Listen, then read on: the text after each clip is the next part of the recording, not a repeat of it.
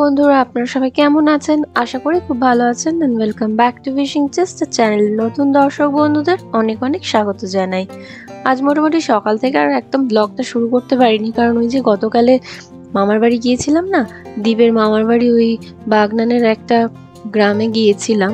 তো তারপরে এত গরম টরম লেগেছিল, ওই নিয়ে সকাল থেকে উঠে দ্বীপ বেরিয়েছিল বাবি মানে আমার শ্বশুরমশাইকে নিয়ে ডক্টরের কাছে।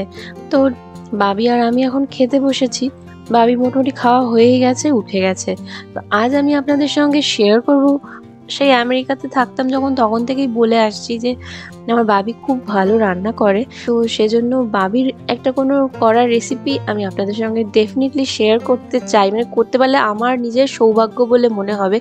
কারণ বাবি এত এত এত কিছু রান্না জানে আর করে।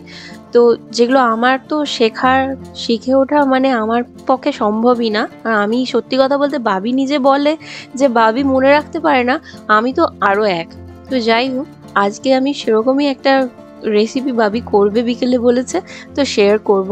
তো চলুন দেখে নিই, বাবি আজকে কি রান্না করে। উপকরণের মধ্যে এখানে দেখতে পাচ্ছি, সরু সরু করে টমেটো কেটে রাখা আছে ধনেপাতা কিমা করে রাখা আছে, পেঁয়াজ কিমা করা, আর বেল পেপার আর পেঁয়াজ কিছুটা ওই কিউব কিউব করে কাটা, আর পনিরগুলো কিউব কিউব করে কাটা।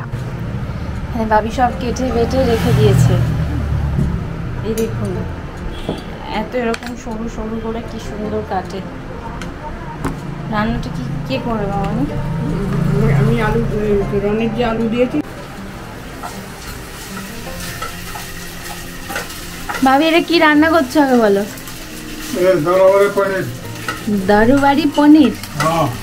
দারুবাড়ি পনির করছে আজকে বাবি পনিরটাকে সাথে করছি। আচ্ছা কি দিয়ে? ওদের একটু নুন একটু জিরা পাউডার হ্যাঁ। একটু কস্তুরি মেথি মিলিয়ে একটু ময়দা মিলিয়ে আর তেলে না তেলই তো সাদা তেলই তো। হ্যাঁ, সাদা তেল। দেখেছেন নামটা? যেটা রেসিপিটা ভাবি বানাচ্ছে তার নামটাই কি নতুনত্বর শুনেই মনে হচ্ছে বাহ বেশ দোকানে মানে যখন রেস্টুরেন্টে গেলে আগে সব কিছু পরে মনে হবে যে ওই দারবাড়ি পনিরটাই খাই। নামটাই প্রথম শুনলাম যদিও। পেঁয়াজ আগে একটু সাথে করতে হবে। আচ্ছা। তেল ভাবি একদম বেশি তেলে চপচপে রান্না পছন্দ করে না আর হ্যাঁ, নিজেও করে না। সব কম তেলে কম তেলে করে। মানে যেহেতু ভাবি আমি তো আপনাদের বারবারই বলেছি যে যদি এবারে গিয়ে বাড়িতে ইন্ডিয়াতে এসে পসিবল হয় যে বাবির হাতের কোনো রান্না আপনাদেরকে রেসিপিটা শেয়ার করব আর বাবি করবে সেরকম দেখব। কিন্তু বাবির শরীর বলতে গেলে খুবই খারাপ, তো তাও আজকে আমি দেখতে পেলাম হঠাৎ যে কাটছে, সেজন্য আমি বললাম যে করবে কি ভাবি রান্নাটা? তো সেজন্যই আমি তাড়াতাড়ি করে ক্যামেরাটা নিয়ে এসেছি। তো না তো তো ভাবি বিরিয়ানি থেকে শুরু করে এত এত ধরনের রান্না করে।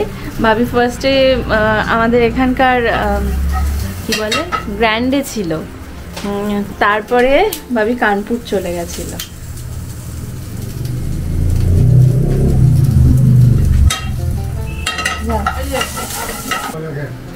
Bell paper.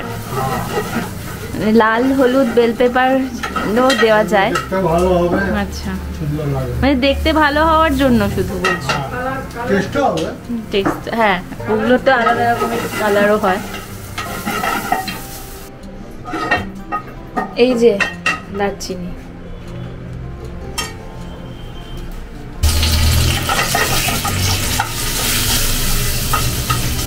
পেঁয়াজ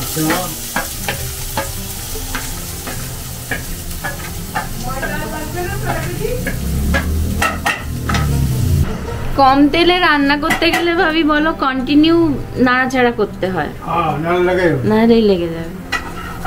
আর আমরা হোটেলে রান্না করি? তেল বেশি রাখব তেল বেশি দাও? যে থাকলে পরে সেটা বার করে দাও। আচ্ছা। আজকাল লোক রগুন পছন্দ করে না। হ্যাঁ। একদম চিল্লাবে। আগে যেমন লোক রগুন নেই। রগুন মানে ভাবি? ওই যে রং মেচা দিয়ে লাল হয়ে যায় ও যে তেলটা ভেসে ওঠে? হ্যাঁ। আচ্ছা। ওকে বলে রগুন ও। ওকে দিয়ে রগুন জুস হয় মটন ও আচ্ছা। দেখেছেন এটা কিন্তু একটা নতুন টিপস বললাম আপনাদের। হ্যাঁ, সব। মানে আমার যদি শরীর ভালো থাকতো সব থাকতো তাহলে তোমাকে দেখতেও তুমি কোথা তুলে দিত দেখেছেন বাবির শরীরটা খারাপ। বাবি নিজেই সেটা বলছে। যাই হোক, এটা একটা নতুন জিনিস। আমি তো জানলাম, আমি জানি না আপনারা জানতেন কি না বাট আমি জানতাম না এটা যে ওই যেটা এক্সট্রা তেল লাল গুঁড়ো লঙ্কা দিয়ে করে। আর ভেসে ভেসে থাকে না, অনেক রান্নাতে দেখেছি যে রিচ রান্না হয়, সেটাকে রগুন বলে।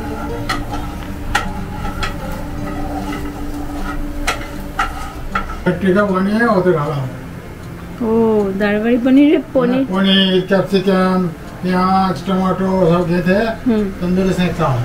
আচ্ছা। এটা আরও খুব টেস্ট হয়। সে কে? আর এটাকে তুমি সতে করে নিচ্ছ? এটা তো আমি সতে করেছি আচ্ছা।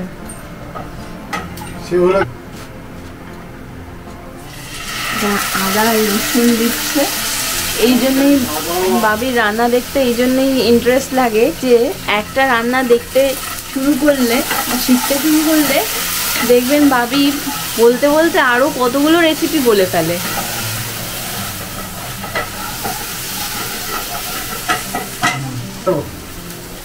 করা আছে পিউরি করে ঢালতে পারো। আচ্ছা। টমেটো পিউরি কিনতে পাওয়া যায় টিনে কিনতে পাওয়া যায় নিজেরা করতে পারো। টমেটোকে কিমা করে ফুটিয়ে ভালো করে এবার এটাকে নেড়ে ভালো করে পকাও। খুব করতে হবে।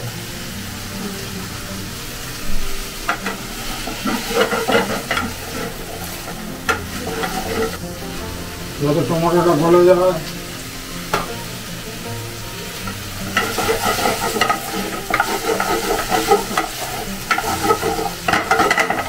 হয় একটু হলে হয় সব তৈরি করে থাকে খালি ফ্রাইস করে ঢালো হিলো ঢালো যত আইটেম সে সেই মশলাগুলো কতদিন ধরে রাখো তোমরা ফ্রিজে মানে তুমি যে বলছো মশলা তৈরি রাখো তো সেগুলো তো ডেলি শেষ হয়ে যাবে ও যেরকম আমাদের সেল হয় সেই হিসেবে বানানো হয়। আচ্ছা। বটার মশলা টমেটো মশলা সব মশলা বানিয়ে রাখতে গ্রেভি ভেজিটেবল অনেক কিছু বানাতে যেমন mutton mutton keema chicken keema সব আলাদা তৈরি করে রাখতে হয়। যেমন চিকেন মশলা বানাবো চিকেন দিলাম মটন কিমা দিলাম মটন গ্রেভি দিলাম। মিট মশলা উঠে ফার্স্ট পার হবে এখানে তো কিমা বলে যাবে।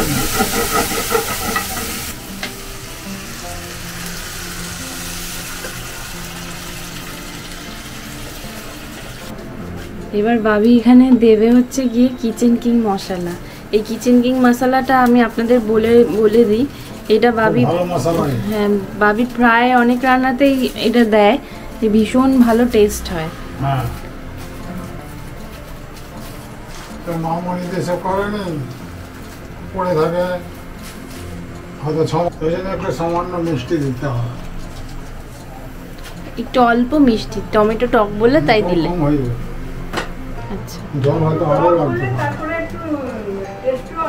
হুম। এই এটা ঝোল ঝোল হলে ভালো হয়। এটা যে ঝোল ঝোল এটা তুমি গ্রেভি করবে না মানে হ্যাঁ, মারবে? গ্রেভি তো এগুলো ঢালবো। এটা হচ্ছে কাশ্মীরি গুঁড়ো লঙ্কা। হ্যাঁ কাশ্মীরি পাউডার এই ঝাল হয় না। রং খাই বলে আমি তো লঙ্কাই দিই না ওই মশলাতে ঝাল হবে।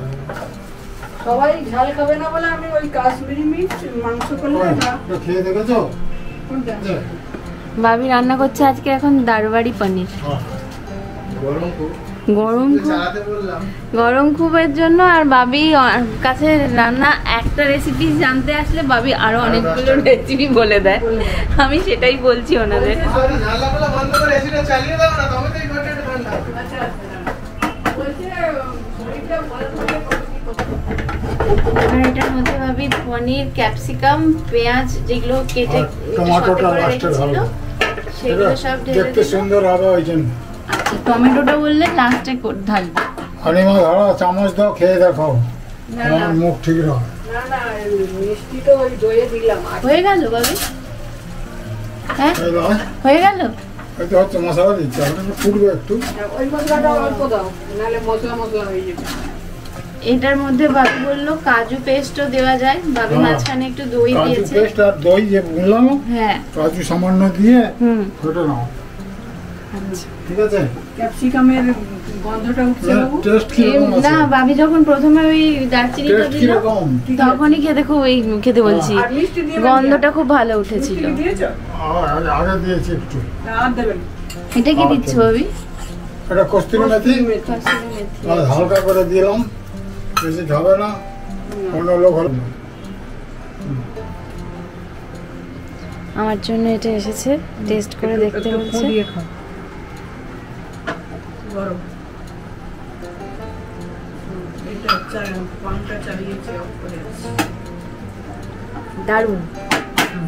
ক্যাপসিকামের গন্ধটা কি সুন্দর না? তার নাম হ্যাঁ? হাংরি হয়েছে এখন? এখন হওনি হাংরি তুই বাবা রে হাংরি হয়নি এখনও। আচ্ছা যাচ্ছি যাচ্ছি। বেগম বাহার কত বেগম কি পনির দিয়েই? হ্যাঁ ভাই পনিরের টিকিয়ে ওখানে বানিয়েছিলাম একবার আমেরিকাতে। ও হ্যাঁ। বেগম বাহার বানিয়েছিলে। রেসিপিটা কেমন লাগল জানাবেন পারলে কমেন্ট সেকশনে কমেন্ট করে। আজকে কিন্তু ব্লগটা এখানেই শেষ করলাম। অনেক অনেক ধন্যবাদ আপনাদের। উইশিং চেস দেখার জন্য।